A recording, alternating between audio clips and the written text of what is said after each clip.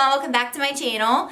I am so excited to finally be sitting down and actually talking to the camera and fil filming a real video. I've been doing lots of vlogs and cleaning style videos and stuff like that here lately, so I'm really excited to finally sit down and talk to you guys. Um, I mentioned in my last video that there are going to be changes to my channel um, and that's going to be the type of videos that I'm going to be putting out. My channel was solely like, well it wasn't solely, but it was mostly like beauty and makeup and stuff like that. And moving into 2018, I really want to just kind of change um, the content of my YouTube channel, I guess you could say. Um, I want to move more towards a kind of family, um, lifestyle YouTube channel.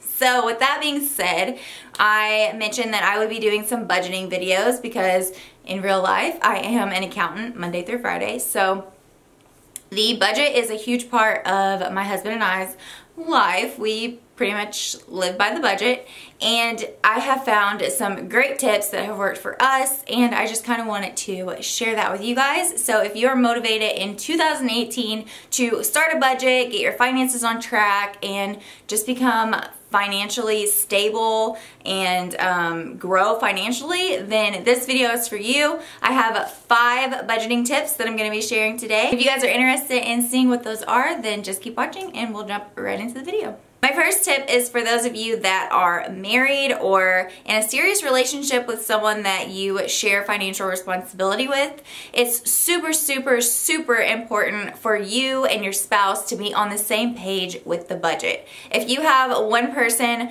totally on board and the other isn't, then your budget is never going to work. You're not going to get anywhere financially and you're not going to be able to reach the goals that you have, you know, for 5, 10, 30 years down the road if you have one person who just isn't on board. So the most important thing is for you both to be on board because it's not going to work if you're not.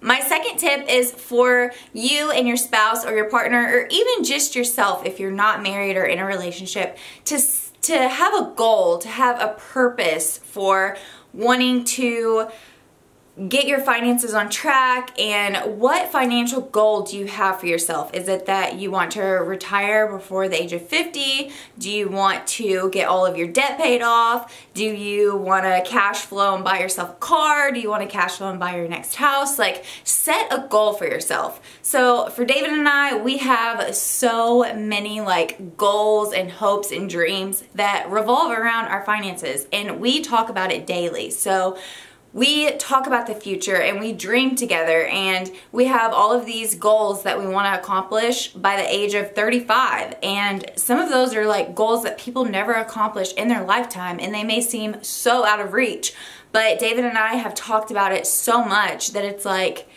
we can see it, we can taste it, like we are after it. So we know that we need to stick by that budget in order to reach the goal. So having a goal or a purpose, a reason to do something is your motivation and it helps you stay on track and helps you actually follow the budget. My third tip is to make a plan and stick to it. So this one is pretty self-explanatory. It goes right along with the budget. If you have made a budget, you need to make sure that you stick to the budget. So if you have a plan drawn out in the beginning of the month, then make sure you stick to that plan. Make sure that you are following the budget and know that that $300 purse isn't in the budget this month. But you know, a year from now when you're completely debt free and you have your financial freedom, hey, that $300 purse you can get it. Just remember that it is delayed gratification and that you have made a plan for a reason and stick to it. My fourth tip is to have a monthly budget meeting with your spouse or partner, significant other, or with yourself. So my husband and I sit down before the beginning of each month and we talk about all of our income and expenses and our plan for the month. So we will sit down and most of the time, you know, since I'm the accountant, I've already got the budget made up like six months in advance.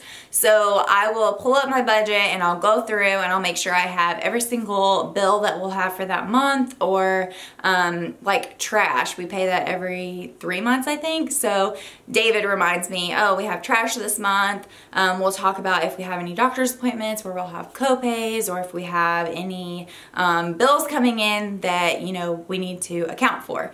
Um, if we have a birthday or just the small things that, you know, maybe one person knows but the other doesn't. We communicate all of our expenses for the month then and there before the month starts and puts them and we put them in the budget. So we do that every single month and it is awesome. Like it's a great time for us to also just sit down and talk about it. I mean, we talk about money daily, so it's not like it's a conversation like that we dread having. Like I said, we talk about our hopes and dreams and everything daily. So um, it's just a good time for us to come together and look at where we're at financially and where we're going to be and how great we're doing at right now we're working on student loans, paying off student loans. So it's really awesome when we sit down at the end of each month and we see, you know, how much money we threw towards our student loans.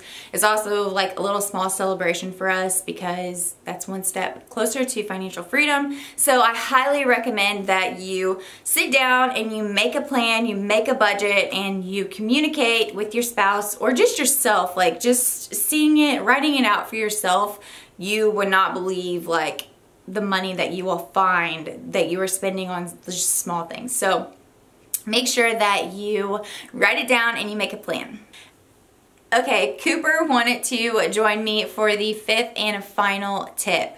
So that is to use the resources that are available to you. Um, David and I use the budgeting app called Every Dollar and it was created by Dave Ramsey, which I'm a huge fan of. I listen to him every single day and he is the one that got me started on this journey to financial freedom. Uh, David and I's goal is to be completely debt free by the age of like 35 and that includes our house. So with this app, it's really cool because when David and I sit down for our monthly budget meetings, we pull up the Every Dollar website on our computer and we go ahead and we plug everything into our budget for that month. So we log our income, our expenses, um, what we're gonna spend on groceries, restaurants, all of our bills, everything. We log it into every dollar and we give every dollar a home. That is the goal to get it down to a zero-based budget. So once we give every dollar a home, then we have our budget for the month. And then when we are out at the store or we make a purchase online or we go out to eat,